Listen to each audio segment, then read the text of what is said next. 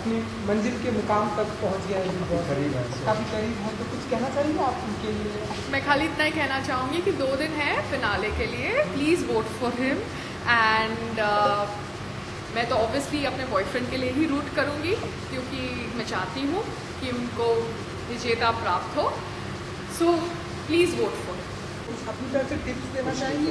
Winner के कि हाँ आप कुछ ऐसा आई थिंक शो ख़त्म होने के लिए दो दिन रह गए हैं।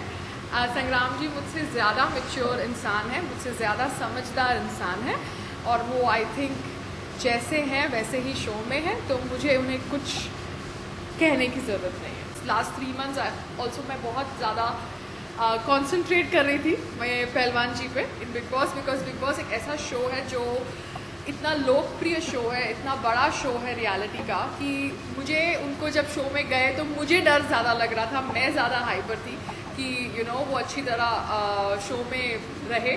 तो आई थिंक मेरी पूरी कंसंट्रेशन तीन महीने से बिग बॉस पे थी। And now I think I should start you know concentrating on my career also